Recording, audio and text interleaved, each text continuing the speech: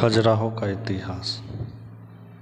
Khajuraho Wikipedia के अनुसार खजुराहो का इतिहास लगभग एक एक हज़ार साल पुराना है। अपने क्षेत्र में खजुराहो की सबसे पुरानी ज्ञात शक्ति वत्स थी। क्षेत्र में उनके उत्तराधिकारियों में मौर्य शुंग कुषाण, पद्मावती के नाग वाकाटक वंश, गुप्त वंश, पुष्पभूति, राजवंश और गुर्जर प्रथा राजवंश शामिल थे। यह विशेष रूप से गुप्त काल के दौरान था कि इस क्षेत्र में वास्तुकला और कला का विकास शुरू हुआ। हालाँकि उनके उत्तराधिकारियों ने कलात्मक परंपरा जारी रखी। शहर चंदेल साम्राज्य की प्रथम राजधानी था। चंदेल वंश और खजुराहो के संस्थापक चंद्रवर्मन थे।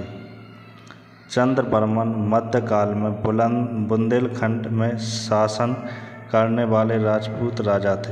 वे अपने आप में चंद्रवंशी मानते थे। चंदेल राजाओं ने दसवीं से बारहवीं शताब्दी तक मध्य भारत में शासन किया। खजुराहो के मंदिरों का निर्माण 950 ईस्वी से 1050 ईस्वी के बीच इन्हीं चंदेल राजाओं द्वारा किया गया। मंदिरों के निर्माण के बाद चंदेलों ने अपनी राजधानी महोबा स्थानांतरित कर दी। लेकिन इसके बाद भी खजुराहो का महत्व बना रहा। मध्यकाल में दरबारी कवि चंद्रबरदाई ने पृथ्वी रासु में महोबा खंड में चंदेल की उत्पत्ति का वर्णन किया है। उन्होंने लिखा है कि काशी के राज पंडित श्री की पुत्री हेमवती अपूर्व सौंदर्य की स्वामिनी थी। एक दिन वह गर्मियों की रात में कमल पुष्पों से भरे हुए तालाब में स्नान कर रही थी। उनकी सुंदरता देखकर भगवान चंद्र उन पर मोहित हो गए। वे मानव रूप धारण कर धरती पर आ गए और हेमवती का हरण कर लिया। दुर्भाग्य से हेमवती विधवा थी। वह एक बच्चे की माँ थी। उन्होंने चंद्रदेव पर अपना जीवन नष्ट करने और चरित्र हनन का आरोप लगाया। अपनी गलती के पश्चाताप के लिए चंद्रदेव ने हेमवती को वचन दिया कि वह एक वीर पुत्र की माँ बनेगी। चंद्रदेव ने कहा कि वह अपने पुत्र को खजूर पर ले जाएँ। उन्होंने कहा कि वह एक महान राजा बनेगा। राजा बनने पर वह बाग और झील, झीलों से घिरे हुए अनेक मंदिरों का निर्माण करवाएगा।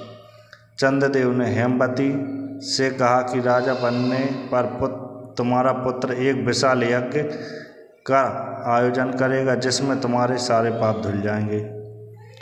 चंद्र के निर्देश का पालन कर हेमवती ने पुत्र को जन्म देने के लिए अपना गाँव छोड़ दिया और एक छोटे से गाँव में पुत्र को जन्म दिया। हेमवती का पुत्र चंद्र चंद्रवर्मन अपने पिता के समान तेजस्वी, बहादुर और शक्तिशाली था। सोलह साल की उम्र में वह बिना हथियार के शेर या बाघ को मार सकता था। पुत्र की यथा असाधारण वीरता को देखकर हेमवती ने चंद्रदेव की आराधना की, जिन्होंने चंद्रवर्मन को पारस पत्थर भेंट किया और उन्हें खजुराहो का राजा बनाया। पारस पत्थर से लोहे को सोने में बदला जा सकता था। चंद्र चंद्रवर्मन ने लगातार कई युद्धों में शानदार विजय प्राप्त की। उनसे कालेंजर का विशाल किला बनाया।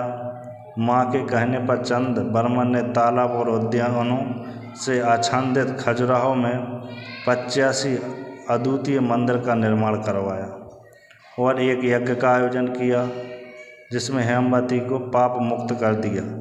चंद बर्मन और उसके उत्तराधिकारियों ने खजुराहो में अनेक मंदिरों का निर्माण करवाया।